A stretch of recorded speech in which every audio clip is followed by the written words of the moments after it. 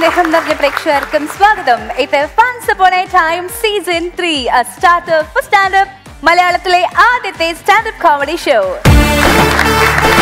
അപ്പൊ നമ്മൾ സംഗീത് റാമിന്റെ ക്യാരക്ടർ എൻട്രി പെർഫോമൻസ് കണ്ടു കഴിഞ്ഞു. സോ ഇനി വരാൻ പോകുന്നത് ഒരു അടിപൊളി സ്റ്റാൻഡപ്പ് കോമഡിയാണ് and that standup comedian is coming from team Ramji Rao Lakshmi പറയൂ ആരാണ് കോട്ടിടുന്നത് ഓക്കെ അപ്പൊ ഞങ്ങളുടെ ടീമിൽ നിന്ന് തകർപ്പൻ സ്റ്റാൻഡപ്പ് പെർഫോമൻസുമായി നമ്മുടെ ആലപ്പുഴയുടെ പൊന്നോമന പുത്രൻ Lalbi.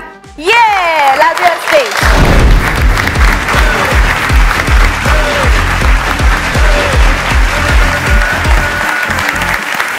Hi hello നമസ്കാരം. എന്റെ പേര് ലാൽബി. രമേശേട്ടാ ക്യാരക്ടർ ചേഞ്ച് അഥവാ മനുഷ്യന്റെ സ്വഭാവത്തിൽ ഉണ്ടാകുന്ന മാറ്റങ്ങൾ. നമ്മുടെ നാട്ടിൽ ഓന്ത് നിറം മാറുന്ന പോലെ സ്വഭാവം മാറുന്ന ആളുകളാണ് രാഷ്ട്രീയക്കാർ അപ്പോൾ ഒരു ഇലക്ഷൻ വരികയാണെങ്കിൽ ഇവർ നമ്മുടെ നമ്മുടെ വീട്ടിലെ കറിച്ചട്ടി മുതൽ കറിപ്പാത്രം വരെ കഴുകി തരും അത് പഞ്ചായത്ത് ഇലക്ഷൻ ആണെങ്കിൽ തീർന്ന്. അപ്പോൾ എന്റെ നാട്ടിലൊരു പഞ്ചായത്ത് ഇലക്ഷൻ നടന്ന്. ഇതിന്റെ വിജയം ആ- ആഹ്ലാദത്തിന്റെ ജാഥ ഇങ്ങനെ നടക്കുകയാണ്. മെമ്പർ സ്റ്റുഡന്റ് സിന്താബ മെമ്പർ സ്റ്റുഡന്റ് സിന്താബ എന്ന് പറഞ്ഞ് ഈ ജാഥ ഇങ്ങനെ പോകുമ്പോൾ ഈ ജാഥ ഒരു തടിപ്പാലത്തിൽ എത്തുമ്പോൾ ഈ തടിപ്പാല പ്ലച്ച എന്ന് പറഞ്ഞ് ഒടിഞ്ഞു വീണ് ഈ അണികളെല്ലാം വെള്ളത്തിൽ പോയി. അപ്പോൾ ഒരു അണി വെള്ളത്തിൽ കിടന്ന് പറയുക പാലം പോണെ പൊക്കോട്ടെ പുതിയത് ഞങ്ങൾ പണിതിടും. അപ്പൊ തന്നെ നമ്മുടെ നിയുക്ത മെമ്പർ സുഗുണന്റെ ആദ്യത്തെ സത്യപ്രതിജ്ഞയ്ക്ക് മുമ്പുള്ള പ്രതിജ്ഞ. ഒടിഞ്ഞ തടിപ്പാലം തൊട്ടുകൊണ്ട് സുഗുണം പറയുക. ഇതിന്റെ ഇരട്ടി വികസനം ഞാനിവിടെ കൊണ്ടുവരും. കൊണ്ടുവന്ന് ഒരു തടിപ്പാലം വരുന്നു ഇപ്പൊ രണ്ട് തടിപ്പാലം ഒക്കെ ഇട്ടുണ്ട് മൂന്ന് വർഷം കഴിഞ്ഞ് മെമ്പർ സുഗുണം വരെ ഇങ്ങനെയാണ് അവിടെ കൂടെ പോണത്. അങ്ങനെ വേറൊരു ക്യാരക്ടർ ഉണ്ട്. എന്റെ അമ്മാവൻ ഒരു പ്രത്യേകതരം ക്യാരക്ടറാണ് അതായത് ഇപ്പൊ ചില സിനിമകൾക്ക് റിവ്യൂ ചെയ്യുന്ന ചില ആളുകളെ പോലെ വാ തുറക്കുന്നത് വിവരക്കേട് പറയാനും കുറ്റം പറയാനും വേണ്ടി മാത്രം. അപ്പൊ ഒരു ദിവസം ഞാനും ഈ അമ്മാവനും കൂടെ ഒരു എന്റെ കഷ്ടകാലത്തിനൊരു സദ്യക്ക് ഇരിക്കേണ്ടി വന്ന രമേശ് ചേട്ടാ അവിടെ വിളമ്പിയ അച്ചാറിന് മുതൽ അവിയലിന് വരെ ഇങ്ങേര് കുറ്റം പറഞ്ഞു. ഉപ്പിന് ഉപ്പ് വരുന്ന വരെ ഇങ്ങേര് പറഞ്ഞു. ഓരോ തൊടുകർ തൊടുകർ തൊട്ട് നോക്കിയിട്ടും ഇങ്ങേര് ഭരത് ഗോപിനെ പോലെ ഹൈ ഹൈ എന്ന് പറഞ്ഞുകൊണ്ടിരുന്നു. ഞാൻ ഓർത്തേ ഡിസ്പോസിബിൾ ഗ്ലാസ് കൊണ്ടുവന്ന് വെച്ച്. അപ്പൊ ഞാൻ ഓർത്തു ഡിസ്പോസിബിൾ ഗ്ലാസ്സിന് പുള്ളി എങ്ങനെ കുറ്റം പറയും? കാരണം ഇത് കമ്പനിക്കാരാണല്ലോ ഉണ്ടാക്കിയത്. പുള്ളി ഇത് എടുത്തു നോക്കിയിട്ട് പറയാ ഇതെന്താടാ കതിനാക്കുറ്റി പോലെ ഇരിക്കുന്നതെന്ന് സത്യം പറഞ്ഞ പിന്നെയാണ് നെൽസ എനിക്ക് ആ സത്യം മനസ്സിലായത്. ഒരു നല്ല പാചകക്കാരനാകാൻ ആഗ്രഹിച്ചിട്ട് അതാകാൻ പറ്റാത്തതിലുള്ള അമർഷമാണ് അമ്മാവൻ ഈ പറഞ്ഞു തീർക്കുന്നതെന്നുള്ളത് ഏതോ ഒരു അധഭാഗ്യൻ അദ്ദേഹത്തിന്റെ കല്യാണത്തിന്റെ പാചകം അമ്മാവനെ ഏൽപ്പിച്ച്. അന്ന് വരെ കുറ്റം പറഞ്ഞുകൊണ്ടിരുന്ന അമ്മാവന്റെ ഭക്ഷണം കഴിച്ചതിന് ശേഷം അവർ ആ കുറ്റം അങ്ങോട്ട് ചെയ്തു. Three twenty six I P C അതായത് അമ്മാവന്റെ കരണം അടിച്ചു പൊളിച്ച്. ഇതോടുകൂടെ അമ്മാവൻ കുറ്റം പറച്ചിൽ നിർത്തും എന്നാണ് ഞാൻ കരുതിയത്. പക്ഷേ ജാസ്തിയാലുള്ളത് തൂത്താ മാറത്തില്ലല്ലോ. ഇപ്പോൾ ഞാൻ ഇങ്ങോട്ട് പോരുമ്പോൾ ആറന്മുള വള്ളസദ്യക്ക് തൊടികറികളുടെ എണ്ണം പോരെന്നും പറഞ്ഞ് അമ്മാവനോട് തർക്കിച്ചുകൊണ്ടിരിപ്പുണ്ട് നമ്മുടെ നാട്ടിലെ ഇറച്ചിക്കോഴിയുടെ വിലയും നമ്മുടെ ഭാര്യമാരുടെ സ്വഭാവവും തമ്മിൽ വളരെ വളരെ വളരെ സാമ്യമുണ്ട്. അതായത് ഇറച്ചിക്കോഴിയുടെ വില എന്ന് പറയുന്നത് വെള്ളിയാഴ്ച വരെ നൂറ്റി പന്ത്രണ്ടിൽ കിടക്കും.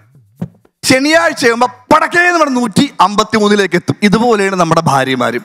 അതായത് നമ്മുടെ കന്മത സിനിമയിലെ മഞ്ജുവാരിയുടെ പോലെ ആയിരിക്കും ഇവൾ വീട്ടിൽ നിൽക്കുന്നത്.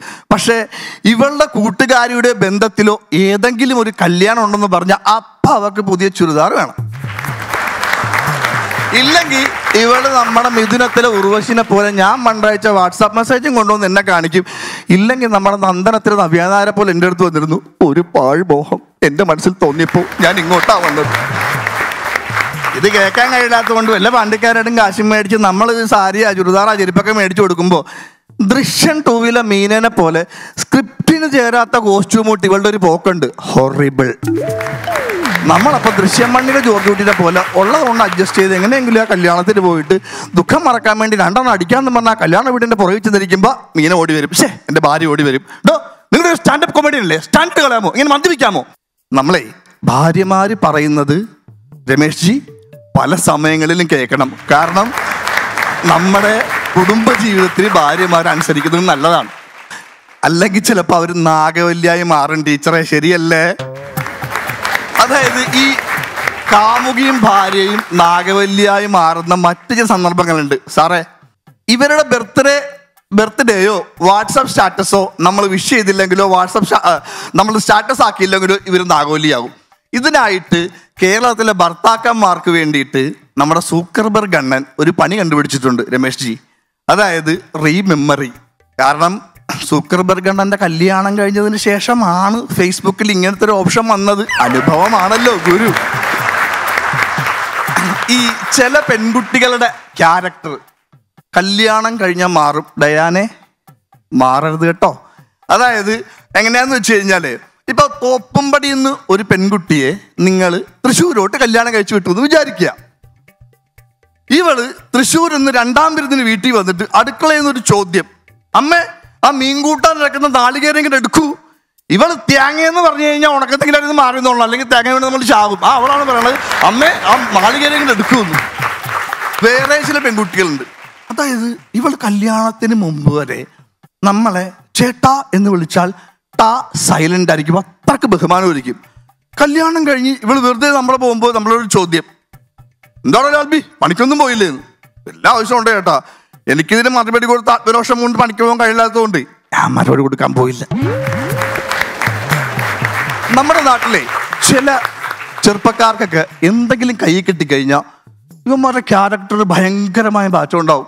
ഇപ്പോൾ എന്റെ നാട്ടിലൊരു സുരേഷ് കുമാർ ഉണ്ട് സുരേഷ് കുമാറിന് ഒരു ബൈക്ക് കിട്ടി. സുരേഷ് കുമാറിന് തോന്നി ഞാൻ സുരേഷ് കുമാർ അല്ല ഷുമാർക്കറാണെന്ന്.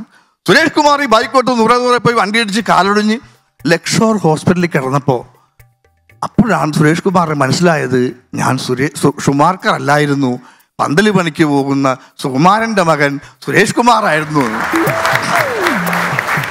ചില ആളുകൾ നമ്മുടെ അടുത്ത് കാശ് കട ചോദിക്കാൻ വേണ്ടി വരും. അപ്പൊ ഇവരുടെ ക്യാരക്ടറിന് ഭയങ്കരമായി ചേഞ്ച് ആയിരിക്കും നെൽസ നിനക്കറിയാലോ അല്ലേ? അതായത് ചിലർ കാശ് കട ചോദിക്കാൻ വരുമ്പോ അമ്പീനെ പോലെ ആയിരിക്കും. എടാ എന്റെ അഞ്ച് പൈസയിലടാ മൂന്ന് മാസമായി കൊച്ചിന് ഭക്ഷണം കഴിച്ചിട്ട് ഒരു അയ്യായിരം രൂപ താടാ നമ്മൾ ഈ അയ്യായിരം രൂപ കൊടുത്തിട്ട് ഇവിടെ നമ്മൾ വിളിക്കുമ്പോൾ റെമോ ലാൽബേ എടാ നിന്റെ കാശുമായിട്ട് ഞാൻ ഓടിപ്പോകാൻ പോണൊന്നുമില്ല. ഒരു അയ്യായിരം രൂപയല്ലേ തരും തന്നിരിക്കും അഞ്ച് മാസത്തിനുള്ളിൽ.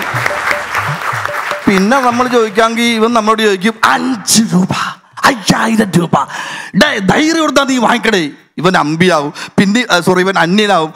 ചിലപ്പോൾ ചേട്ടാ ഇവൻ എന്നെ അമ്പി കുംഭമാക്കും. അതായത് എണ്ണയിലിട്ട് ചുടും. അതുകൊണ്ട് ഞാൻ പിന്നെ പൈസ ചോദിച്ചില്ല. നമുക്ക് ചിലപ്പോ പിടികിട്ടാത്ത ചില ക്യാരക്ടേഴ്സ് ഉണ്ട് രമേശ് ചേട്ടാ. അതായത് ഇപ്പം ഞാൻ ഇങ്ങോട്ട് വരുന്ന വഴിക്ക് രണ്ട് കുട്ടികൾ ബൈക്കിൽ വരിക പൊടിപ്പിള്ളേർ ഇപ്പം ഞാൻ ഉമ്മാരോട് ചോദിച്ചു എടാ മോനെ ഹെൽമെറ്റ് വെക്കാതെ പോലെ അവിടെ എ ക്യാമറ ഉണ്ട്. അപ്പോൾ ഉമ്മ പറയുക ഞങ്ങൾ ഈ നാട്ടുകാരിലെ ചേട്ടാന്ന്. അവന്മാർക്ക് ബുദ്ധി വരാൻ വേണ്ടി നമുക്ക് പ്രാർത്ഥിക്കാം. നന്ദി നമസ്കാരം. ലാൽവി ആ. നല്ല പെർഫോമൻസ് ആയിരുന്നു കേട്ടോ. ചേട്ടന്മാരോട് ചോദിക്കാം. ലാൽവി അത്യാവശ്യം നല്ല പെർഫോമൻസ് ആയിരുന്നു. കുറെ സ്ഥലങ്ങളിലെ നർമ്മങ്ങളൊക്കെ വളരെ ഗംഭീരമായിട്ട് വർക്കൗട്ടായി നന്നായിട്ട് പറഞ്ഞു. പിന്നെ എനിക്ക് ലാൽബി പതിവിൽ കൂടുതൽ സ്ട്രെയിൻ എടുത്ത് പറയുന്നത് പോലെ തോന്നി. ഒന്നിക്കിൽ ലാൽബിക്ക് തൊണ്ടയ്ക്ക് സ്ട്രെയിൻ ഉണ്ട്. അല്ലെങ്കിൽ ലാൽബി വളരെ ബലം പിടിച്ച എല്ലാ വാക്കുകളെയും വളരെ ബലത്തോടുകൂടി പറയുന്നത് പോലെ തോന്നി. അല്ല സാറേ ഞാനേ കുറച്ച് ദിവസം ഇടുക്കിയിലായിരുന്നു. ആ. അപ്പൊ അവിടെ ഒരു നാടകത്തിന്റെ വർക്കുമായിട്ട് ബന്ധപ്പെട്ട് അവിടെയായിരുന്നു. ഈ ഭയങ്കര മഞ്ഞ്. അപ്പൊ ഞാൻ താമസിക്കുന്ന അടുത്തേക്ക് ഈ മഞ്ഞിങ്ങനെ അടിച്ചു വരും. അപ്പൊ എനിക്ക് നീ താമസിക്കുന്നിടത്തേക്ക് വന്നതല്ല മഞ്ഞുള്ള അടുത്താ നീ താമസിക്കുന്നത് അപ്പൊ എനിക്ക് നല്ല ചുമ ഉണ്ടായിരുന്നു ഞാൻ ഇപ്പോഴും മരുന്ന് കഴിച്ചിട്ട കേശമ്മാവിന്റെ അടുത്ത് വെച്ച് മരുന്ന് കഴിച്ചിട്ടാ കയറി അപ്പൊ എനിക്ക് നല്ല ചുമ ഉണ്ടെങ്കിൽ ചുമ വരുവോ വരുവോ എന്നുള്ള പേടിയായിരുന്നു. അതുകൊണ്ട് അല്ല ഇപ്പൊ നീ പറയുന്ന പോലെ പോലും പറയുന്നതും നമ്മൾ നമ്മുടെ ഒരു കൂട്ടുകാരൻ ഇങ്ങനെ ഇങ്ങനെ നമ്മൾ പ്രഷർ കൊടുക്കുമല്ലോ പറയുന്നതിന്. അതങ്ങനെ പറയുന്നത് പോലെ എനിക്ക് തോന്നി. വോക്കൽ സ്ട്രെയിൻ ആയിരിക്കും. വേറൊന്നും തോന്നിയില്ല. അത്യാവശ്യം നർമ്മങ്ങളുണ്ടായിരുന്നു നന്നായിരുന്നു. താങ്ക് യു സർ നന്നായിരുന്നു. പ്രത്യേകിച്ച് അവതരിപ്പിച്ച രീതി. മനോഹരമായിരുന്നു. അതിന്റെ ഒരു ഫ്ലോയും കാര്യങ്ങളും എല്ലാം നന്നായിരുന്നു. പിന്നെ ഈ പറഞ്ഞ പോലെ തൊണ്ടയുടെ പ്രശ്നം അതെല്ലാവർക്കും ഉണ്ട്. ഇപ്പോഴത്തെ ഒരു ക്ലൈമറ്റിന്റെ എനിക്കുണ്ട് രണ്ട് ദിവസമായിട്ട് തൊണ്ടയ്ക്കൊക്കെ പ്രശ്നമാണ്. സാറില്ല. അല്ല എന്റെ അടുത്ത് ഡോക്ടർ വോയിസ് റെസ്റ്റ് പറഞ്ഞിരിക്കുക ആണോ? അത് ഭയങ്കര സ്ട്രെയിൻ എടുക്കുന്ന പോലെ തോന്നി ഇപ്പൊ സംസാരിക്കുമ്പോഴൊക്കെ. സാറില്ല എന്തായാലും രസമായിട്ട് അവതരിപ്പിച്ചു. അഭിനന്ദനങ്ങൾ. താങ്ക് യു ശരി മാർക്സ് അറിയാം രമേശേട്ടാ ലാൽവിക്ക് നാൽപ്പത്തിനാല് ജയേട്ടാ ഞാനും കുറയ്ക്കുന്നില്ല. നാൽപ്പത്തിനാല് അഗൈൻ നാൽപ്പത്തി നാല് ടോട്ടൽ എൺപത്തി എട്ട് eighty eight out of hundred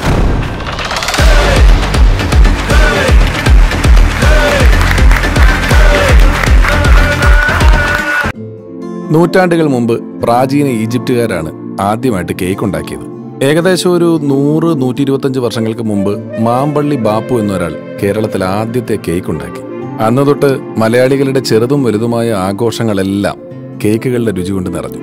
മധുരത്തിന്റെയും ഹാപ്പിനെസിന്റെയും ഒക്കെ ഈ കഥകൾ തുടർന്നുകൊണ്ടേയിരുന്നു. നമ്മൾ ഇതുവരെ പങ്കുവച്ച ചിരികളുടെയും സന്തോഷത്തിന്റെയും ഒപ്പം ഒരെണ്ണം കൂടി. Cake reels cakes and cafe. Hi. നമസ്കാരം. നമസ്കാരം ബിഷു. നമസ്കാരം. ബിഷു ഒരു ആണ് എനിക്ക്. പറയൂ. നമ്മുടെ ഇവിടെ ഈ സെലിബ്രിറ്റികളായിട്ട് സിനിമാ താരങ്ങളെയും ഒക്കെ വരു എഴുത്തുള്ളൂ അല്ലെങ്കിൽ വേറെ ആർക്കെങ്കിലും നമ്മൾ കൊടുക്കും ഇപ്പം നമ്മൾ ഈ പരിപാടിയിൽ ഇപ്പൊ ഇതുവരെ കൂടുതലും വന്നിട്ടുള്ളത് സിനിമയിലോ ടെലിവിഷനിലോ ഒക്കെ ഉള്ള കലാകാരന്മാര്. അങ്ങനെ നോക്കണം സിനിമാ താരങ്ങൾ എന്നുള്ളൊരു ഹെഡിങ് വേണം നിർബന്ധമില്ല കലയിലുള്ള പ്രഗത്ഭരാണ് നമ്മളിവിടെ ഗസ്റ്റ് ആയിട്ട് കൂടുതലും വന്നിട്ടുള്ളത്. അങ്ങനത്തെ ഒരു പരിപാടിയാണല്ലോ. നമുക്ക് മറിച്ച് വേറെ ഇതല്ലാത്ത മേഖലയിലുള്ള ആൾക്കാർ ഇരുത്താൻ താല്പര്യം ഉണ്ടോ നമുക്ക് കുറച്ചുകൂടിയൊക്കെ അങ്ങനെ ഇപ്പൊ സ്പോർട്സിൽ ആണെങ്കിൽ നല്ല നല്ല സ്പോർട്സ് സ്പോർട്സിലുള്ള ആരെങ്കിലും ഒക്കെ നല്ല ആൾക്കാരൊക്കെ ഇട്ടുണ്ടെങ്കിൽ നമുക്ക് വേണമെങ്കിൽ ഇരുത്താം അവർക്കും. സ്പോർട്സിൽ അല്ലാതെ ഒരു ഇത് ഓപ്ഷൻ ഉണ്ടാവും. നമുക്ക് പൊളിറ്റിക്സിലൊക്കെ ഉള്ള ആരെങ്കിലും മേജർ ആൾക്കാരൊക്കെ നല്ല ആൾക്കാരൊക്കെ വരുവാണെങ്കിൽ നമുക്ക് ഡിസ്കസ് ചെയ്യാൻ കാര്യങ്ങളൊക്കെ പറയാനുണ്ടോ. അവരെ ഉൾപ്പെടുത്താവുന്നതാണ്. അല്ലാതെ വേറെ ഏതെങ്കിലും ഒരു കാറ്റഗറി പെടുത്തിയ വല്ലതും ഉണ്ടാവും? അതെ ഇപ്പൊ അങ്ങനെ ആരെയാ നമ്മൾ കുറച്ചുകൂടിയൊക്കെ ഉയർന്ന ഇതിലുള്ള തസ്തികയിൽ ഇരിക്കുന്ന ആൾക്കാരാ? അവനെ മനസ്സിലെന്താന്ന് ഉള്ളൊരു ക്ലൂ ഏഹ് മനസ്സിലിപ്പോ എന്താണ്? ആരെ കൊണ്ടുവരണം? എന്റെ മനസ്സിലൊരു ആഗ്രഹമുണ്ട് ബന്ധുക്കൾ ആരെങ്കിലും ആണോ? പറയൂ. നമ്മുടെ ഒരു എന്റെ ഒരു കസിന്റെ കൂട്ടുകാരനാണ് ആ പുള്ളി തഹസിൽദാറാണ്. പുള്ളിക്ക് ഇവിടെ വന്നിരിക്കണമെന്നൊരു ആഗ്രഹമുണ്ട്. തഹസിൽദാരോ തഹസിൽദാർ ഇവിടെ വന്നിരുന്നിട്ട് എന്ത് ചെയ്യാനാ? അല്ല നിങ്ങളിപ്പോ ഇവിടെ ഇരുന്നിട്ട് എന്താ ചെയ്യണേ? ഒന്നും ചെയ്യുന്നില്ലല്ലോ. അത് തന്നെ പുള്ളി ചെയ്യുന്നുള്ളൂ. നിങ്ങൾ ഞാൻ ഒരു മനസ്സ് തളർത്താനോ അല്ലെങ്കിൽ ഇതിനു വേണ്ടി പറഞ്ഞല്ല പുള്ളി ഒന്നും ചെയ്യില്ല. അവിടെയും പുള്ളി ഒന്നും ചെയ്യാത്തോണ്ടാ പുള്ളി ഇങ്ങനെ വെറുതെ ഒരു പണി വേണമെന്ന് പറഞ്ഞു അവിടെയും പുള്ളി ഒന്നും ചെയ്തില്ല. ഒന്നും ചെയ്യുന്നില്ല. അപ്പൊ ഇവിടെ അപ്പൊ പുള്ളി ഇവിടെ വന്നിരുന്ന അവിടുത്തെ പുള്ളിയുടെ പണി ആര് ചെയ്യും? പുള്ളിയുടെ പണി പോയി. ഓഹോ. അതിലെ തുടക്കം പറഞ്ഞ എന്റെ കസിന്റെ കൂടെ പോയിട്ട് ടൂറ് പോയിട്ട് അവർക്കൊരു പ്രശ്നമൊക്കെ സംഭവിച്ചു. പുള്ളി ഈ സ്ഥലത്ത് ആൾ ആ കറക്റ്റ് സമയത്ത് ഉണ്ടായില്ല. ഓ ഓ ഓ. അങ്ങനെ ഒരു ചെറിയൊരു പ്രശ്നത്തിൽ ഇപ്പൊ മാറിയിരിക്കാണ്. ആ. അപ്പൊ തിരിച്ച് വരുന്നവരെ നമുക്ക് ചെറിയൊരു ഗ്യാപ്പ് ഒന്ന് ഫില്ല് ചെയ്യാൻ. നമുക്ക് ഇപ്പം ഈ ഷെഡ്യൂളിൽ എന്തായാലും അങ്ങനെ ഒരാളെ കൊണ്ടുവരാൻ പറ്റൂല. അതുമല്ല ഇയാൾക്ക് എന്താണ് ശരിക്കും സംഭവിച്ചതെന്നുള്ളതൊന്ന് പറയണം. പറയണം. എന്നാ ഞാൻ ഒരു പാട്ടിലൂടെ പറഞ്ഞോട്ടെ? പറ കേക്കട്ടെ.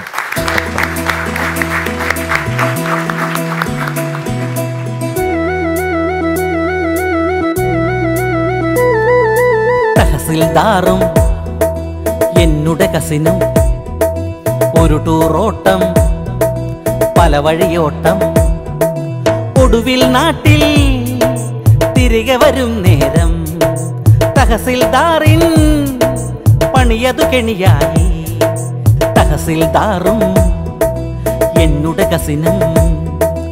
ഒരു ടൂറോട്ടം പല വഴിയോട്ടം. ഒടുവിൽ നാട്ടിൽ തിരികെ വരും നേരം. തഹസിൽദാറിൻ പണിയതു കെണിയായി. തഹസിൽദാറും എന്നുടെ കസിനും. ഒരു ടൂറോട്ടം പല വഴിയോട്ടം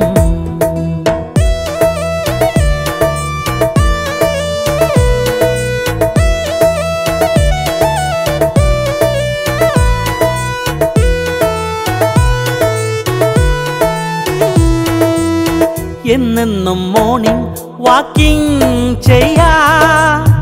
എന്നോടൊപ്പം കൂടെ പോരാനുണ്ടോ?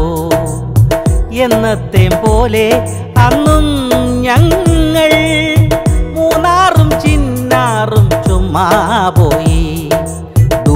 ടൈമുകളെല്ലാം ഹാപ്പി ടൈമുകളാക്കി. കറങ്ങിയ നേരം ജോലി പോയി. തഹസിൽദാറും എന്നുടെ കസിനും ഒരു ടൂറോട്ടം പല വഴിയോട്ടം. ഒടുവിൽ നാട്ടിൽ തിരികെ വരും നേരം തഹസിൽദാറിൻ പണിയതു കെണിയായി. തഹസിൽദാറും എന്നുടെ കസിനും.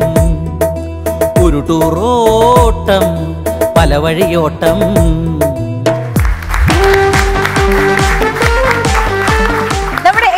വിശേഷങ്ങൾ പൂർണമാകാൻ പോവുകയാണ്. അതിന് മുന്നോടിയായിട്ട് നമ്മുടെ ഗ്രാൻഡ് ഫിനാലിയിൽ വിനേഴ്സിനെ കാത്തിരിക്കുന്ന ഗ്രാൻഡ് പ്രൈസസ് എന്തൊക്കെയാണെന്ന് ഒന്നുകൂടി അറിയണ്ടേ? ഒന്നാം സമ്മാനമായി നൽകുന്നത് ഏഴ് ലക്ഷം രൂപയാണ്.